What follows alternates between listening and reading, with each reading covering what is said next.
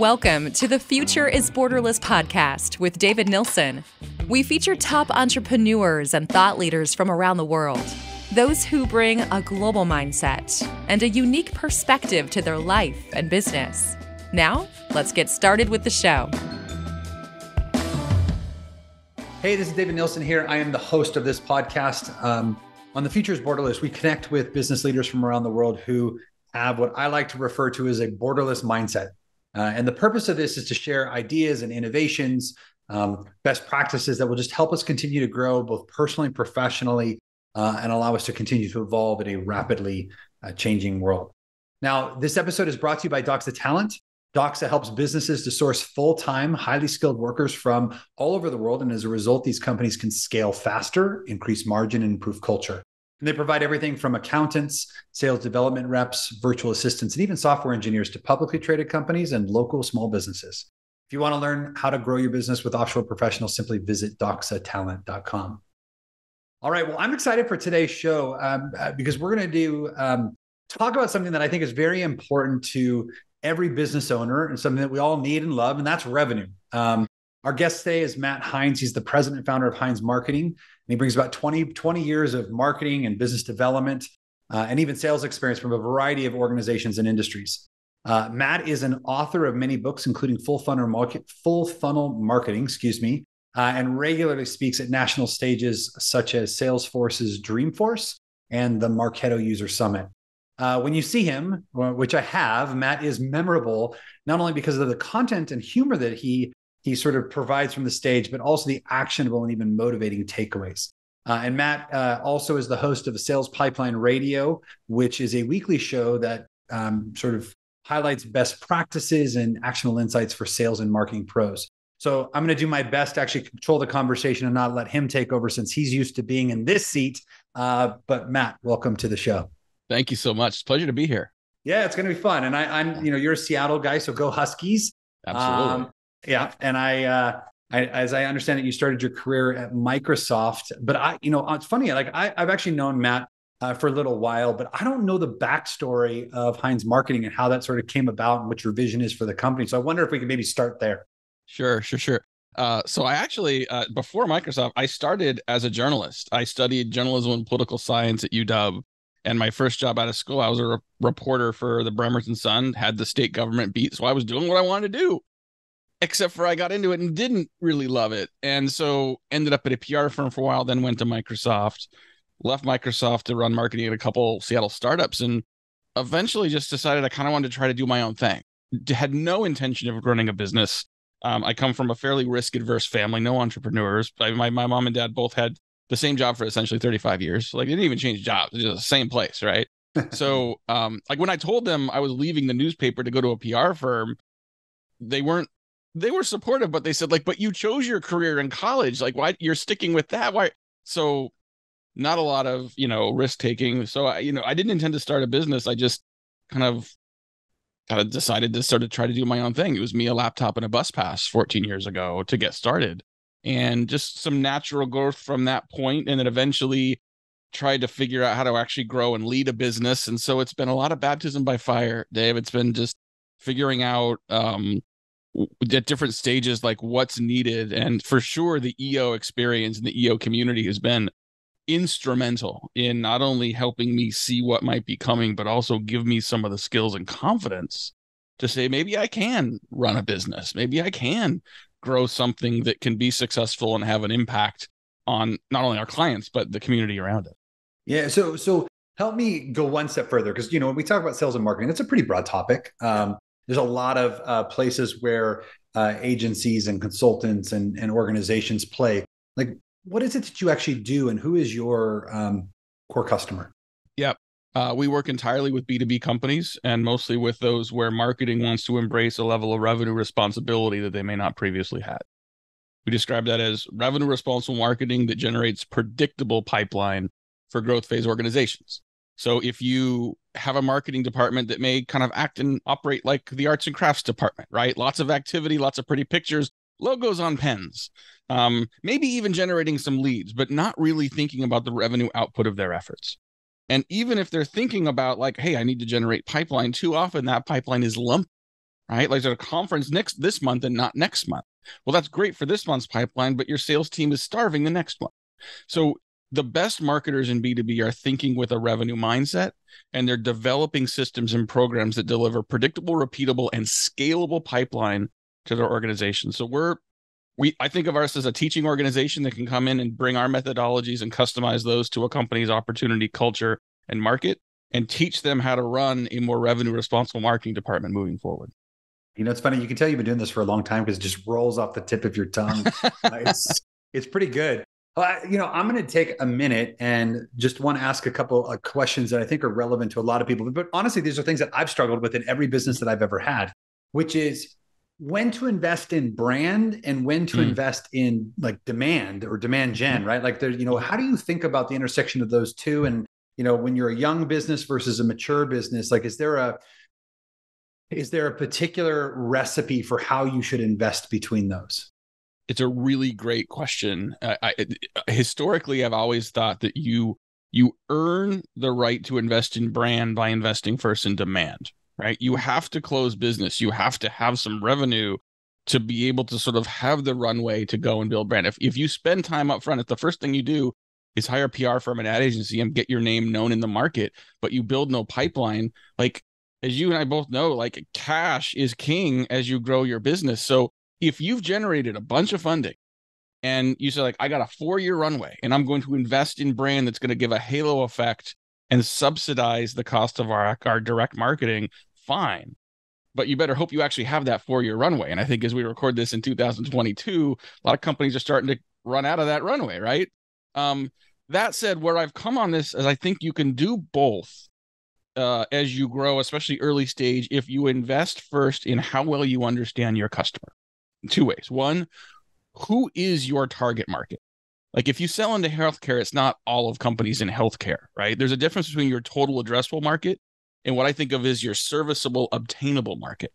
What's the subset of the subset of your market that are companies that are best suited to buy from you, that most likely have the need, that are more likely to be actively buying in the near future? Like that you start with. And then because buildings don't write checks, who are the people in those organizations? Who are the different people with a vested interest in the outcome you represent?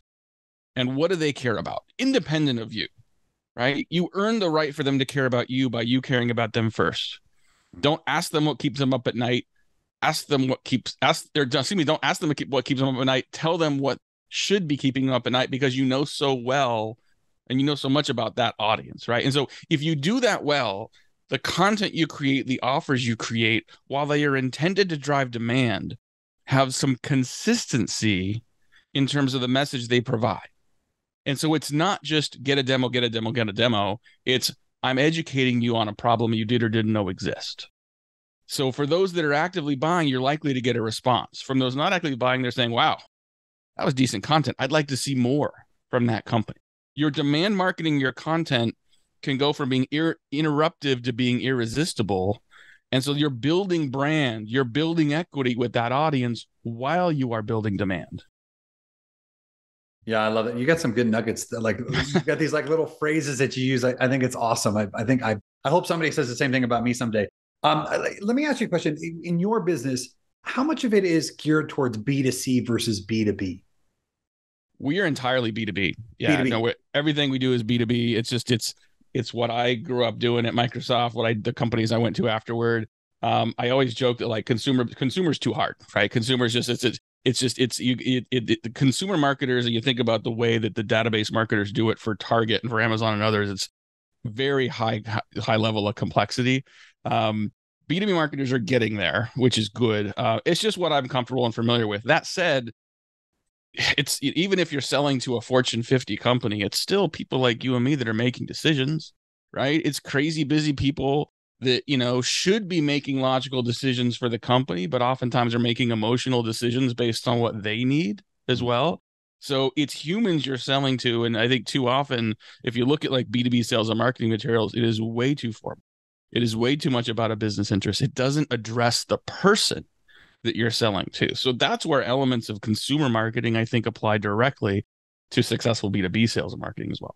Yeah. Well, I, I think part of the reason I asked the question is just I, there's um, you know, COVID obviously it sort of pushed the world in a direction. It was already sort of moving in this sort of remote environment. Uh, yeah. COVID sort of accelerated that that shift, but now it seems like companies are uncertain about who they're going to be. Like, am I full remote? Am I com- bringing people mm-hmm. back to the office? Am I in hybrid uh, environment?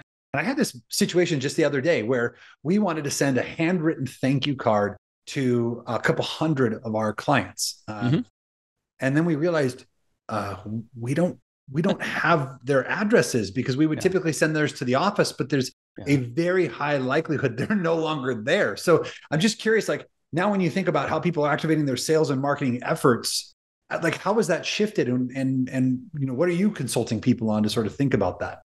Yeah, I mean, well, in the midst of the pandemic, you know, there if if you ha- if you were building a relationship with some trust from the beginning, people were willing to give you their address, right? Especially in the sort of shelter in place world, like checking the mail was a highlight of the day, right? And so getting something in the mailbox or like, hey, there's a box coming in the next couple days. I don't know what it is, or something's coming. So we were like, yeah, sure, I'll give you my address. But if they trust you, right? Like, are they going to spend an hour with you if they don't know you and trust you?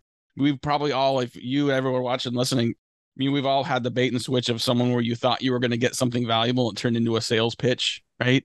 Um, that's not valuable. That's not trust. Um, there have been a number of companies that have created virtual experiences very successfully. I remember during the pandemic, um, Ethan Stowell, you know, did it here in Seattle. You know, he did a number of programs where he would send people a package that included a steak and all the fixins, and he would on on screen like do he would do how to cook a steak and in some cases it was like you could you could buy as an advertiser as a marketer you could buy that package and give it to your vips so your vips your best prospects get to like stay at home ask questions of ethan stowell. So for those who are not in seattle like he's a big deal here. He's like you know has a bunch of restaurants kind of a celebrity chef here in seattle. So that was a draw. Um, another company was invented right out of the uh, the pandemic called purple cork.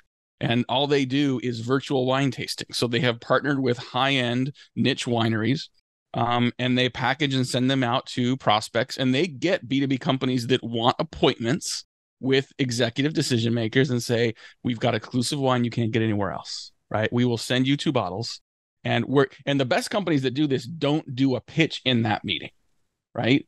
If you if you take someone to the super bowl historically if you take someone golfing historically that's about trust and rapport building. You will have a chance later to have the business conversation and if you've taken them golfing or to the super bowl or a couple bottles of wine, they're more likely to say yes if they feel like that experience was worth it. So, you know, I think that we I see a lot of companies say I can't mail people anymore, I can't call people anymore. You can do both. You have to earn people's trust, right? There is no fast forward to just immediately getting someone's attention and all the attention you want.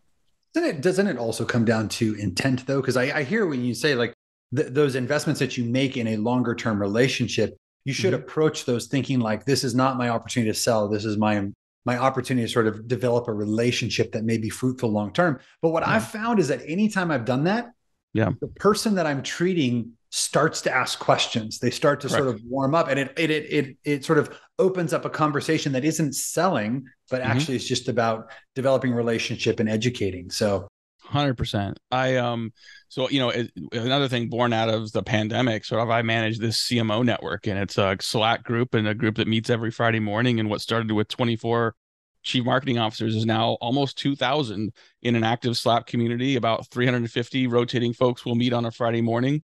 We do not pitch. There are people in that group that don't know what my company does at all. They just see me in and around the community. But I want to provide so much value to those folks where they're like, who are you and why are you doing this? Like, what do you do for a living? And you invite that conversation. But to your point about intent, I think also this isn't just about getting people into a Slack group or to the Super Bowl or to, you know, a steak cooking party. It's who are the people you invited and why are they there? There was a um a sales readiness uh, study done a couple years ago by Gartner that seems to have held up pretty well, held up pretty well across B2B industries. They said, who is buying? And across B2B industries, they found that three or 4% of companies were actively buying. I mean, they know they have a problem, they're committed to change, and they're exploring solutions. 46% of the of the market is what Gartner called poised. They have the need, they just aren't pursuing it today. For right or wrong reasons. They may have accurately triaged other things, they may not know that there's a problem. They may not have quantified the problem. And what this implies is there's a whole 50% of your market you should not be spending time on, right? Um, and so again, like people sometimes say, like my top, the biggest hundred companies in my industry are my top targets. Maybe not if you think about the criteria and the intent signals that exist with the companies and the individuals to say who should I be engaging to begin with. Yeah, I love that.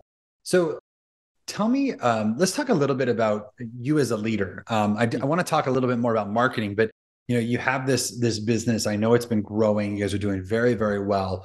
You know, if you think back to uh, what year did you start it, by the way? Uh, 2008. Okay, so 2008. Think about Matt Heinz, 2008 to today. Like, how have you evolved as a leader? Like, how have you changed the way that you not only lead the organization, but maybe even your role within it?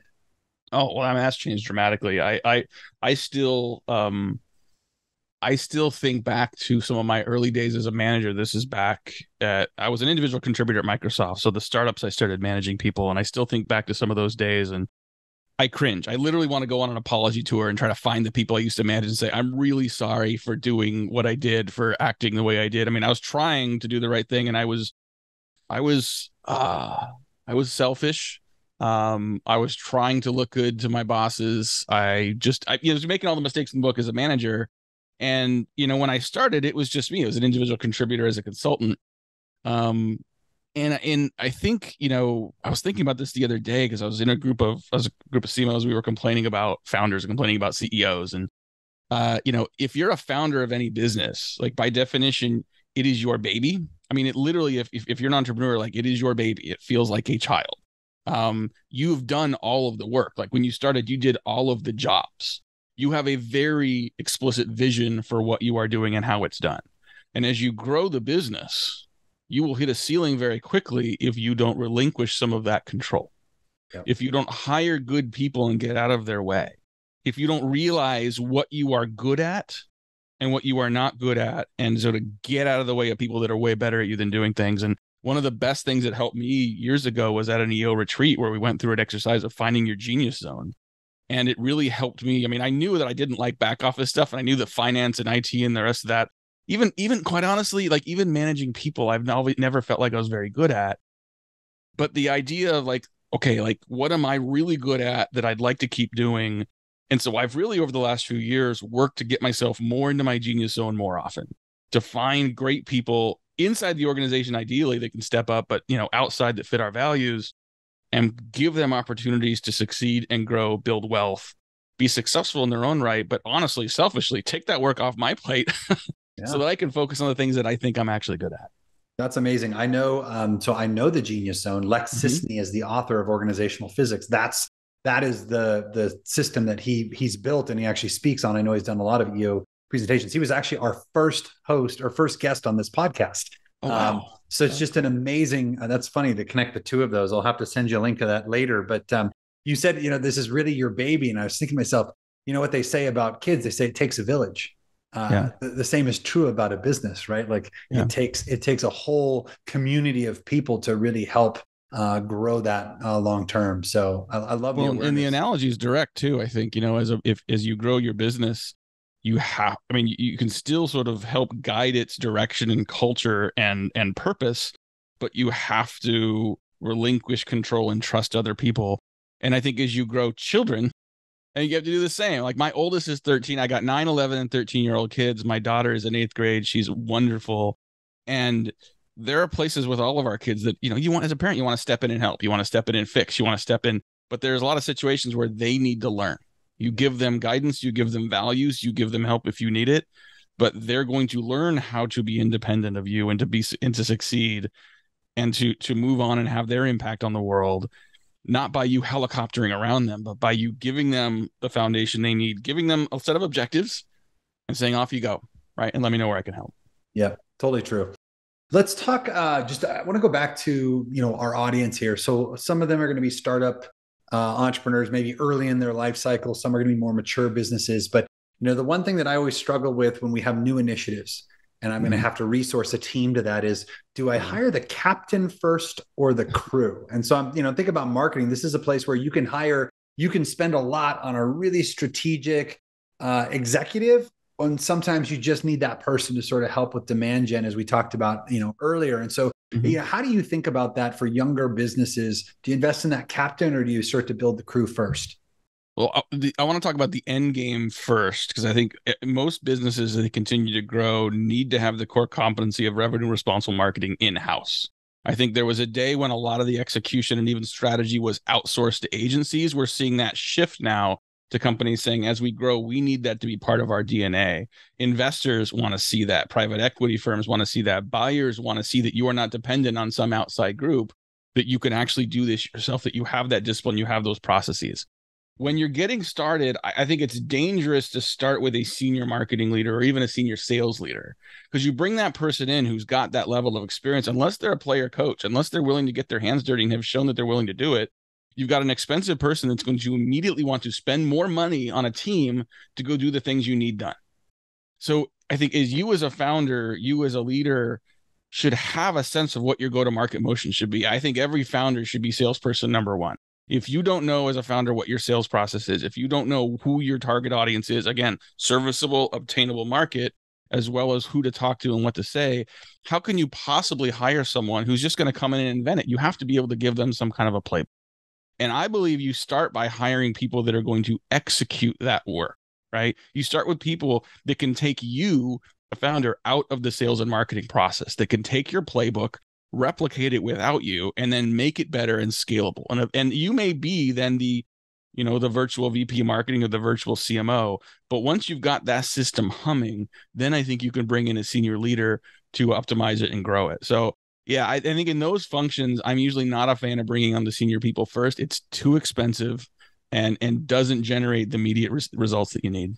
Yeah, I think that that makes a lot of sense. I mean, we've done that historically with our businesses. I've done both actually, where you hired the the the captain first, but it takes a long time to generate that ROI because inevitably you hire the captain, then you got to go out and find the crew anyways, right? So I think oftentimes with founders in particular, they have a good sense for where they want to take the business. They just mm-hmm. need an additional capacity to do that.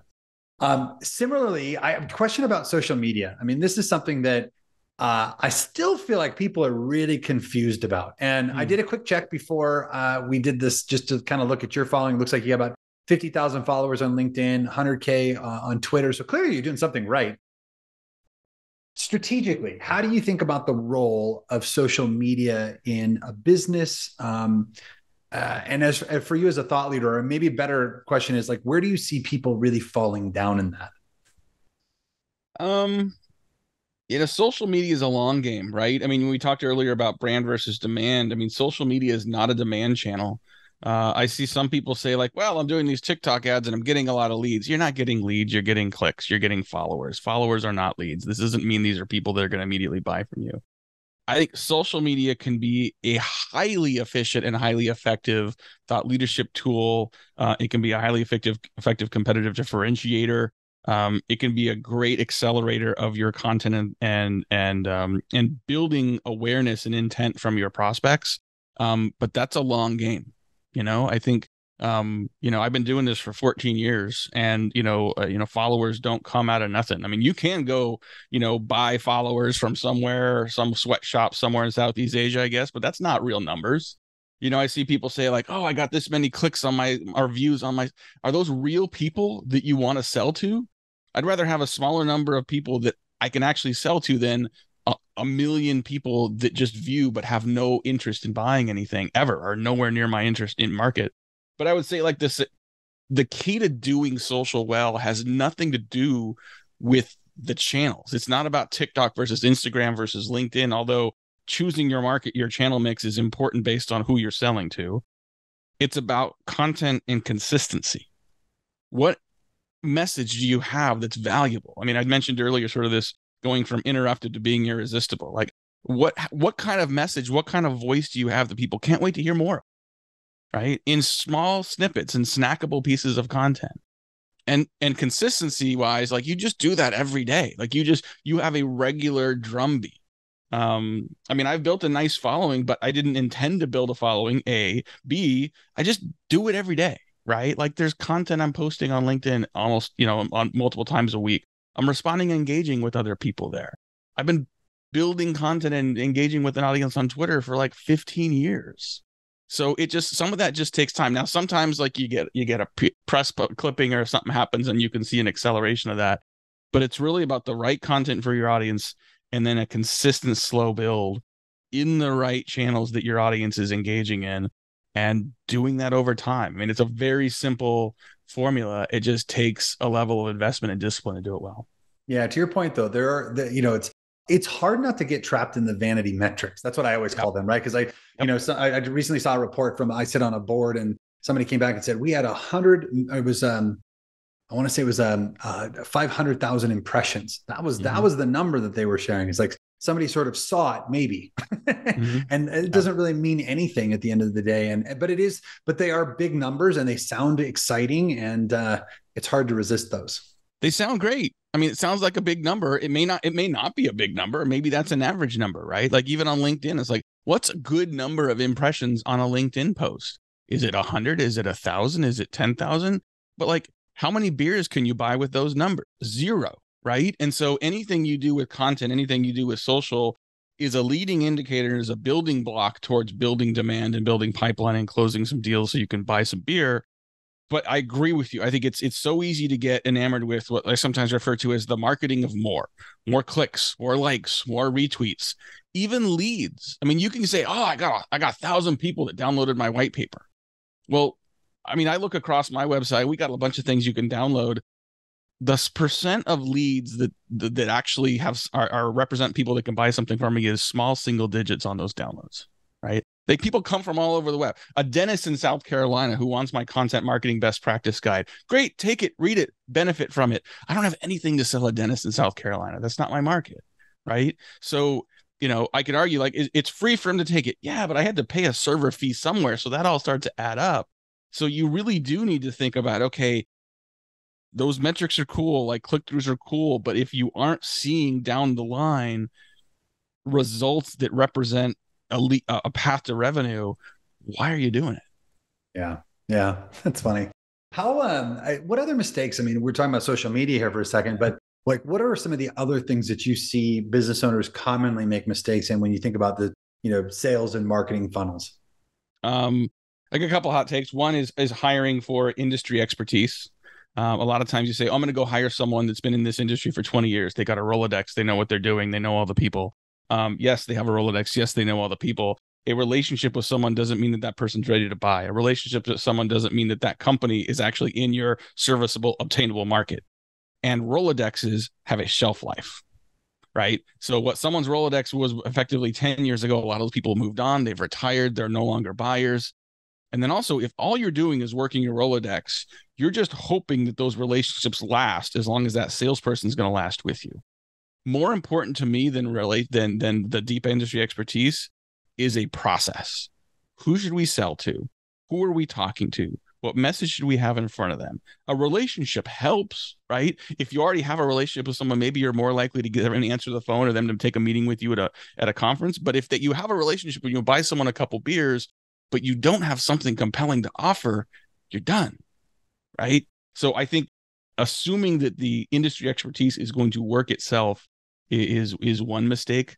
Um, you know, I think the other is assuming that a volume based sales strategy is going to work. There are some books that that have methodologies uh, around predictable revenue and sort of these activity based selling motions that may have worked 15 20 years ago um, but now everyone's using it and it's annoying as all get out to the buyers that are engaging with it. And I think if you are building your sales process based on a simple spreadsheet that says, if I make this many calls, I'll get this percent of people to reply and get this many people into a demo.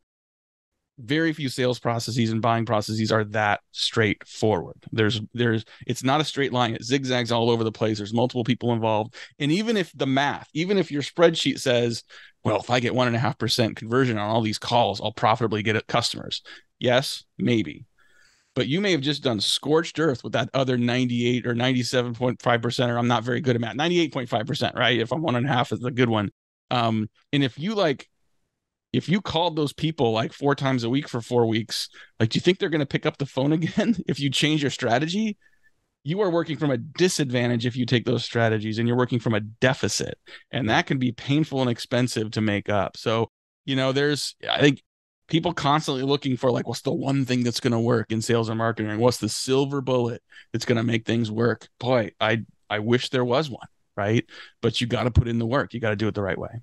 Yeah putting in the work is uh it's, it's a good way to put it i mean i, actually just literally about a month ago was sitting with a, a particular company and they were telling me about their sales and marketing strategy and you know they have warm leads people that have come to their site and actually requested a particular type of information and I said, Well, what do you do with them? And I was trying to understand their funnel. And the mm-hmm. comment was that they actually call them 10 times. And I was like, Over what period of time? They're like, In the first five days. And I was like, 10 Ooh. times, 10.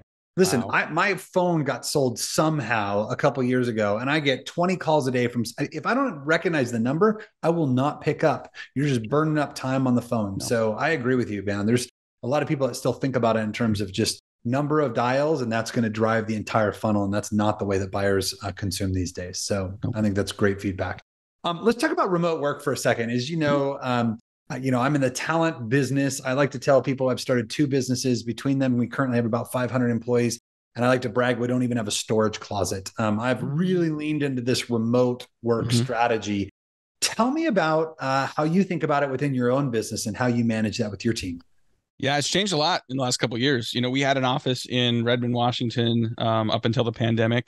Uh, we were one year into a three-year lease, and we decided it was safer to work from home. And then the governor said it was definitely safer to work from home, and we never went back. Um, you know, thankfully, we had someone that was that did was growing, wanted physical space, took over our lease, so that was nice. Um, but we have we went from sort of making some adjustments to maybe going back to now definitely being strategically in permanent remote work environments. And literally yesterday you know we we use eos as our operating model. And yesterday we had our first quarterly reset where we kind of like talk about what happened you know in q3 and say set up our rocks and focus for q4 and it was the first time we've done that fully remote. Usually we have said okay we bring everybody in. We've got employees spread out throughout western washington but we would if we've asked everyone to come in and this time we didn't. And it kind of sucked to be honest. Like i just i loved being and seeing people. We used to have a culture of people leaving their desks and going to the lunchroom and having lunch together.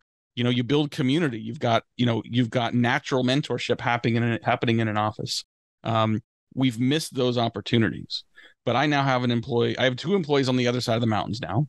Um, I've got one, I've got some that are looking at, and we've got employees that we're looking at hiring from various places that we couldn't do before and so i miss the community but uh, you know part of our purpose is to impact the careers and lives of people in our spheres and one of that groups is employees. And so if someone chooses to work somewhere else and have that flexibility be close to family i've lost the, the intimacy of being together but i've gained their employment with us. I've gained their loyalty with us because we're enabling them to have the life and the lifestyle they want. Um and i you know I, I, was talking to some of our some of our leaders, and you know, most of for those of us that are older, like we're just so used to those in office things. But one of the things I think we've done well is we've said, okay, if we are going to be fully remote, what are the things that we that were easier in person that are now very hard to do remotely or not as easy to do remotely, and how do we explicitly replace them? So we are missing out on collaboration. Collaboration is harder remotely than it was in person um, just team building and team bonding, right? Just community building in an organization in a company is, is is just more difficult remotely. And then mentorship and learning, the opportunity for people to learn from each other happened in an office space just more naturally than it does. So just by saying those three things are thing are, are are harder in a remote environment, we said, what are we going to do proactively to address those? And so I wouldn't say we're perfect in those fronts, and we're certainly continuing to sort of learn and improve on what we're doing. But I am fully embraced. I mean, not only just because I don't have to pay a lease anymore, but also I think we are, we are, we can, we can more directly um, fulfill our purpose as a business remotely versus in person now. Yeah, you know, it's really funny. This is this is a place where um, I have leaned really far in on the remote side and said, "Hey, look, well, part of it is we're an interna- international business. Mm-hmm. So if I have an office, people are getting left out all over the place, right? And so while there's some of that sort of osmosis learning and, and team building, team bonding that you talk about it, you know, when you decentralize, it becomes it actually becomes exclusionary versus inclusionary. And so I think I think that's uh, I think that's a really good. I've always told people I think it's great for execution. It's harder for collaboration. So mm-hmm. um, I love the fact that you guys have sort of uh, teased out what are the things that you're you're potentially going to struggle with, and just by bringing visibility to it, you'll manage it differently. And I the, by the way, these are the exact things that we're struggling with as well. So I think it's just a common um, issue. But that being said, I, you know, when I was all in downtown Seattle, mm-hmm. I could only I could only recruit from a pool that was within mm-hmm. about five to ten miles of there. Now the world is my oyster. So I think you know there's trade offs either way you go. There um, is, yeah. So t- tell me a little bit about that then. So let's go a little bit further on that. Like tell me about some of the tools that you guys use, or maybe some of the rhythms that you have in the business that you're using to sort of help compensate for some of these, even knowing that they've got to continue to evolve.